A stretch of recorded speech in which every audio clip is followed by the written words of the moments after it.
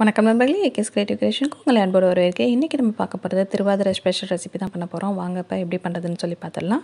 அதுக்கு ஒரு மிக்ஸி ஜாரில் ஒரு காப்படி அளவுக்கு பச்சரிசி வந்து சேர்த்துக்கிறேன். அந்த பச்சரிசி ஆல்ரெடி வந்து கழுவி காய வச்சு எடுத்த அந்த அரிசி தான் நான் இப்போ வந்து மிக்ஸி ஜாரில் வந்து சேர்க்குறேன்.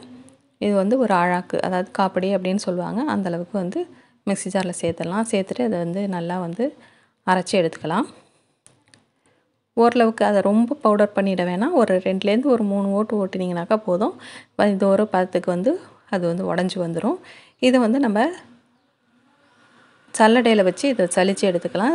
சல்லடையில் பார்த்தீங்கன்னாக்கா ரவா சலிக்கக்கூடிய அந்த சின்ன ஹோல் உள்ள அந்த வளையம் போடாமல் அதை விட கொஞ்சம் பெரிய சைஸ் ஹோல் உள்ள அந்த வளையத்தை வந்து நம்ம மாட்டிட்டு நம்ம இப்போ பவுடர் பண்ணி வச்சுருக்கிற அரிசியை வந்து இதில் சேர்த்துட்டு சளிச்சிக்கலாம்.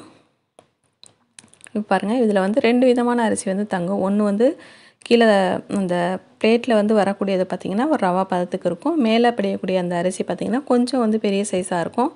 அதில் கூட நம்ம இந்த ரெசிபி செய்யலாம் பட் அது வந்து வேகிறதுக்கு வந்து ரொம்ப நேரம் எடுக்கும். சப்போஸ் நம்ம வேகாமல் பண்ணிட்டோம் அப்படின்னு சொன்னாக்கா அது வந்து நமக்கு உடம்புக்கும் வந்து ஒத்துக்காது. அதனால் ரவா பதத்துக்கு இருக்கக்கூடிய இந்த அரிசியில் வந்து நம்ம இந்த களியை வந்து ட்ரை பண்ணலாம். இப்போ இது போல் எந்த அளவுக்கு வேணுமோ அந்த அளவுக்கு நம்ம எடுத்துக்கலாம். இப்போ எடுத்துருக்கிற நம்ம அரிசியை வந்து ஒரு பேனில் கொட்டி இதை நல்லா வந்து ஒரு சூடு ஏறுற அளவுக்கு நல்லா வந்து வறுத்து எடுத்துக்கலாம். ரொம்ப வந்து செவக்க வறுக்கணும்னு கிடையாது. அது ஓரளவுக்கு சூடானாக்கா போதும். அந்த அளவுக்கு மட்டும் வறுத்துக்குங்க.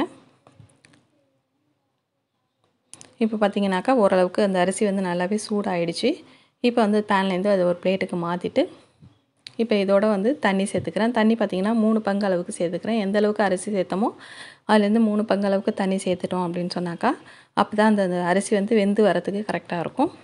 இப்போ தண்ணி ஓரளவுக்கு சூடான பிறகு நம்ம வறுத்து வச்சுருக்க அந்த அரிசியை கொஞ்சம் கொஞ்சமாக உள்ளே சேர்த்து கலந்து விட்டுகிட்டே வரலாம். அப்போ தான் வந்து கட்டி தட்டாமல் இருக்கும்.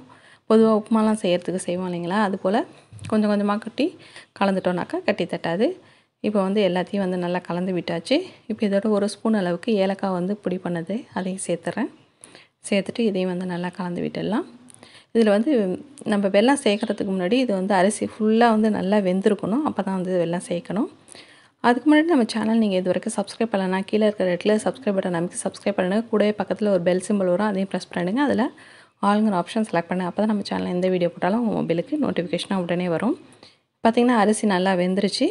இந்த ஸ்டேஜில் நான் வெள்ளம் வெள்ளம் வந்து சேர்த்துக்கிறேன். வெள்ளம் பார்த்திங்கன்னா ஒரு முக்கால் கப் அளவுக்கு சேர்த்துக்கிறேன். வெள்ளம் வந்து நீங்கள் தூசு இருக்கும் அப்படின்னு சொல்லி நினச்சிங்க அப்படின்னாக்கா லைட்டாக கொஞ்சமாக தண்ணி ஊற்றிட்டு அதை வந்து நல்லா கரைச்சிட்டு அதாவது ஹீட் பண்ணும்போது அந்த வெள்ளம் கரைஞ்சிரும். அப்புறமா வடிகட்டிட்டு கூட நீங்கள் உள்ளே சேர்த்துக்கலாம். இப்போ இதோட டேஸ்ட்டுக்காக கொஞ்சமாக வந்து உப்பு சேர்த்துறேன். உப்பு சேர்த்துட்டு இதையும் வந்து நல்லா கலந்துடலாம்.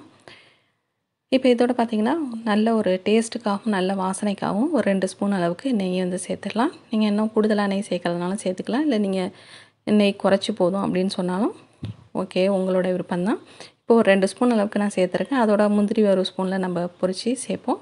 இப்போ அந்த அளவுக்கு சேர்த்தாக்கா இந்த அளவுக்கு போதுமானதாக இருக்கும்.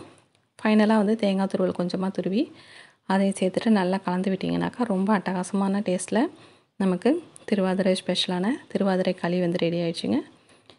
கண்டிப்பாக ட்ரை பண்ணி பாருங்கள் இப்போ அந்த சூட்டோடு அந்த தேங்காவை கலந்து விட்டுடுங்க. அப்போ தான் வந்து கொஞ்சம் டேஸ்ட்டும் நல்லாயிருக்கும் அது கெடாமலும் இருக்கும் சீக்கிரத்தில்.